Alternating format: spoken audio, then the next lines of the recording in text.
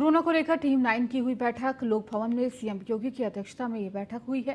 CM योगी ने प्रदेश में corona के हालातों की जानकारी दी। बैठक में डिप्टी सीएम ब्रजेश पाठक मौजूद रहे। सीएम योगी ने कोरोना को लेकर कई निर्देश भी दिए हैं। लोक भवन में सीएम योगी की अध्यक्षता में ये बैठक हुई है। टीम नाइन की यह बैठक थी, जहाँ कोरोना को लेकर समीक्षा करते हुए नज़र आए। सीएम योगी ने प्रदेश में कोरोना के हालातों की जानकारी ली। बैठक में डिप्टी सीएम ब्रजेश पाठक मौजूद रहे।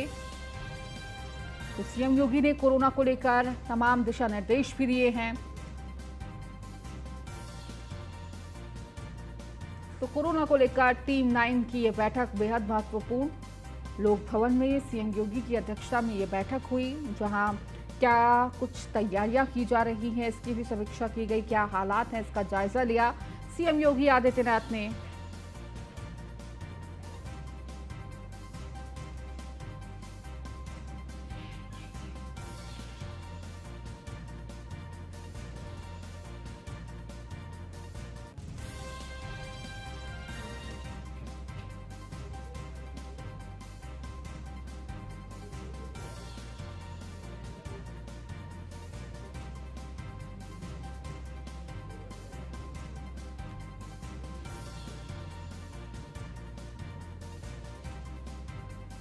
तो बैठक में डिप्टी सीएम ब्रजेश पाठक मौजूद रहे।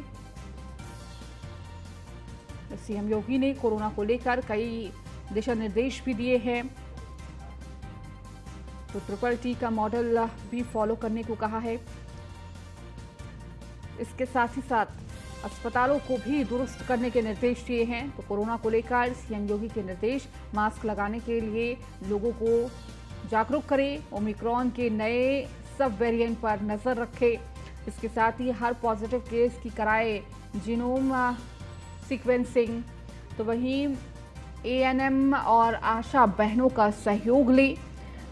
आईसीसी को करे एक्टिव तो कोरोना को लेकर बढ़ते सावधानियाँ। इसके निर्देश तो पब्लिक एड्रेस सिस्टम को एक्टिव करे। इसके साथ ही स्वास्थ्य विभाग बेहतर समन्वय के साथ तैयारी करे। तो दैनिक टेस्टिंग को बढ़ाया जाए। तो बुज़ुर्गों को विशेष सावधानी बरतनी होगी, इसके भी निर्देश।